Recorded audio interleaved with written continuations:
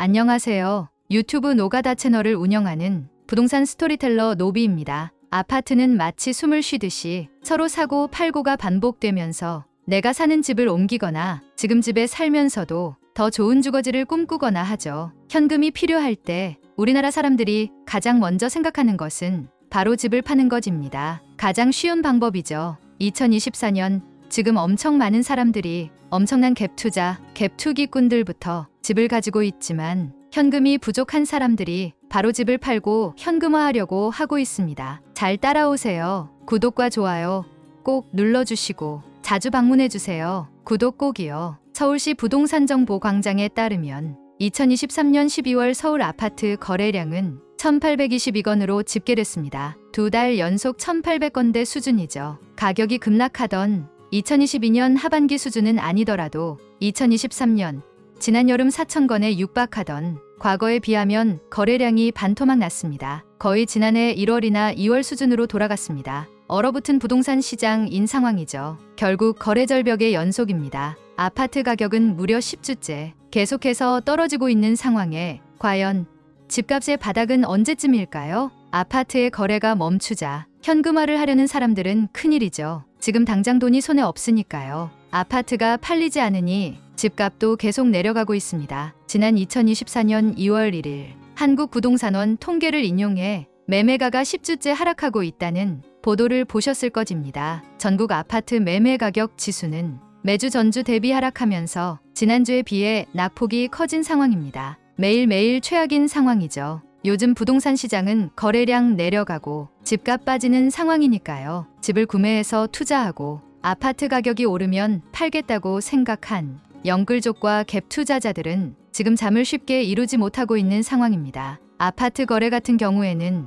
지금 점점 꽁꽁 조이고 있는 상황이죠. 수도권 부동산 시장이 꽁꽁 얼어붙고 있습니다. 부동산 경기 침체와 고금리 기조, 게다가 프로젝트 파이낸싱 위험 확산 등으로 아파트를 사겠다고 달려드는 거래 자체가 실종되고 미분양 주택이 급증하는 양상이죠. 2024년 2월 3일 국토교통부에 따르면 2023년 작년 12월 수도권 아파트의 매매 거래량은 9,321건으로 전월 1만 1,619건 대비 20% 가까이 줄었습니다. 수도권 아파트 매매 거래량이 1만 건 밑으로 떨어진 것은 2023년 지난해 1월 6,332건 이후 11개월 만이죠. 2024년인 올해도 힘들어 보입니다. 아파트 거래량은 부동산 시장의 선행지표로 통하는 주요 수치입니다. 수도권 아파트 매매 거래량은 2022년 하반기 가파른 금리 인상으로 주택 수요가 위축되면서 그해 10월 5,114건까지 떨어지며 극심한 거래 절벽을 겪었습니다. 가격과 함께 동반 하락을 할 것이죠. 하지만 2023년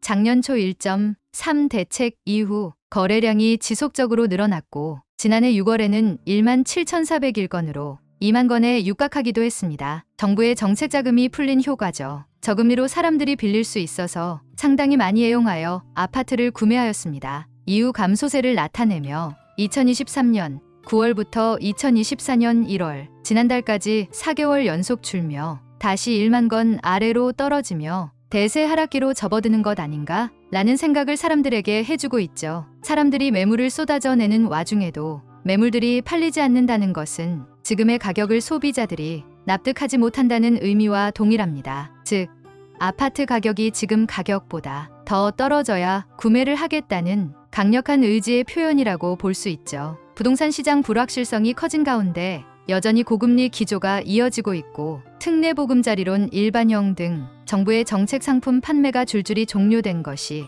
부동산 거래량 감소로 이어진 것입니다. 거래 절벽이 이어지는 가운데 양호한 분양 성적을 이어오던 수도권에서도 미분양 물량이 급격히 쌓이고 있습니다. 2023년 작년 12월 말 기준 수도권 미분양 주택은 1만 31가구로 한 달 새 43%, 즉 3,033가구나 급증했습니다. 미분양 아파트의 증가가 장난이 아닙니다. 다 짓고도 반년 동안 미분양이라 결국 아파트 전체를 공개 매각한 곳도 있죠. 지은 지 반년이 넘은 신축 아파트가 겨우 25가구만 팔리고 무려 121가구가 빈집 상태여서 결국 아파트 전체가 공매로 넘어갔는데 이렇게 미분양이 심각한 아파트가 늘면서 지금 건설사들은 무너지고 정상 가격에 분양받은 사람들은 재산이 실시간으로 깎여나가면서 서로 최악의 상황을 맞이하게 됩니다. 건설사는 부실 위기를 맞이하고 이 파트 가격이 할인된 가격에 사람들이 공매로 구매하게 되면 그 가격이 실거래가가 돼버릴 테니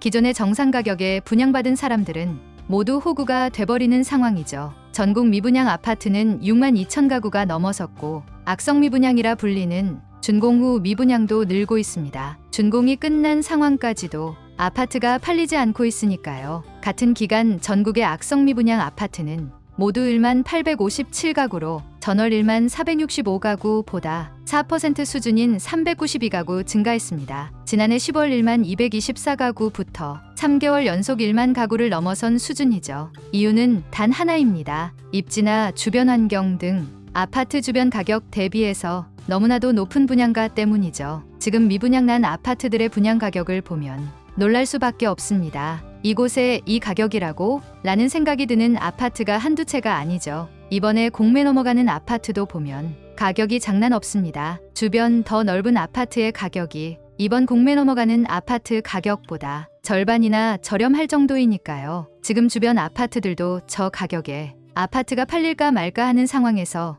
뭐 거의 안 팔린다고 봐야겠죠. 그런데 지금 신축 분양하는 아파트의 가격이 주변 아파트의 가격의 두 배가 넘는다. 호구들에게만 팔겠다. 라는 강력한 의지가 느껴집니다. 아파트를 구매한 사람들은 호구되는 거고 아파트를 파는 건설사나 시행사는 안 팔리면 어쩔 수 없고 이런 식 같아 보이는 것이죠. 주변 아파트들은 그 반 가격에도 안 팔려서 가격을 낮추려고 하는데 지금 분양하는 특히 지방의 아파트들은 서울이나 수도권 가격을 보고 비슷하게 따라 판매하려는 그런 모습이 눈에 족족 들어옵니다. 이러니 안 팔리고 이러니 쌓이죠. 지금 미분양 가구는 인천이 3,270가구로 전월 1,298가구 보다 두배 이상 증가했고 경기는 5,803가구로 전월 4,823가구 대비 20% 이상 늘었습니다. 서울도 81가구, 즉 9% 가까이 늘어난 958가구로 집계됐습니다. 사람들이 입지, 인프라,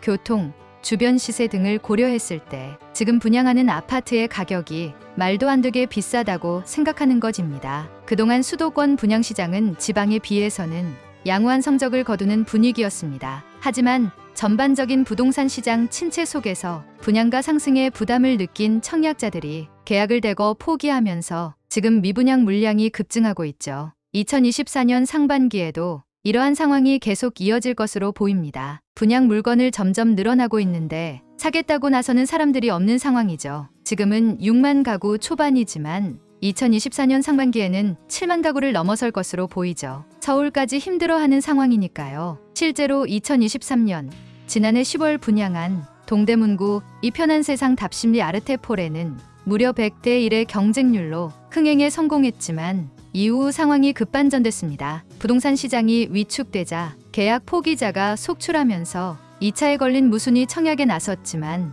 결국 완판에 실패했습니다. 같은 시기 분양에 나섰던 동대문구에 위치한 이문 아이파크 자이도 최초 청약 때 6대 1의 양호한 성적을 거뒀지만 계약을 포기하는 사례가 속출하면서 미계약 물량이 남아있는 상태입니다. 답은 정해져 있습니다. 싸게 팔면 팔리죠. 하지만 시행사와 건설사들은 결코 싸게 팔 의지가 없습니다. 사람들에게 살 수 있으면 사봐 라고 배짱으로 장사하고 있는 상황이죠. 인건비, 자재비가 늘었다고 하지만 이렇게나 올랐을까? 라는 생각이 들 정도로 지금 아파트 분양 가격을 보면 말이 안 되는 상황이 많습니다. 집값은 10주째 떨어지고 투자한 원금까지도 포기하고 많은 사람들이 집을 팔려고 내놓고 있습니다. 2021년에 상투를 잡은 많은 연글족과 갭 투자자들은 이미 빠져나간 사람도 있지만 대부분 여전히 물려있는 상황이죠. 현금이 급한 사람들은 3억, 4억 싸게 아파트를 내놓고 있지만